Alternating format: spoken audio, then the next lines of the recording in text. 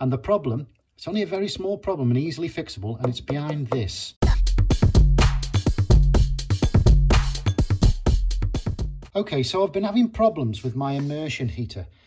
I've turned it on several times and it, the water is just not getting hot. So I suspected that it was the heater element itself that goes into the tank that warms up the water. But I'm no expert at this, I'm not an electrical engineer or anything like that. I just want to show you the fix that I found it was that worked for me in this instance.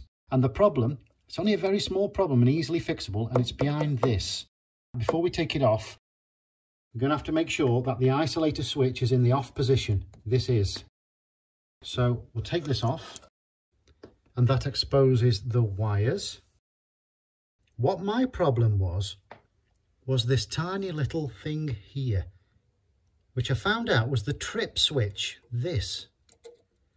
Because what I'd done is I'd left this on for too long and the water inside had got so hot that it was going to create some damage, but it tripped the trip switch so no damage would occur and stopped the whole heating element. And when it trips, this little black thing here pushes upwards. So all I needed to do was, I've got this here, what I did was I just pushed it back down. So, so we'll just push it down at the top, nice and gently, until we hear a click. There we go. And that should do it. We'll put everything back together. And then usually, when I turn this on, I can hear the element working inside. Like a kettle, but very faint. So I'll get the camera close and see if we can. You'll hear a click, that's me turning the isolator on.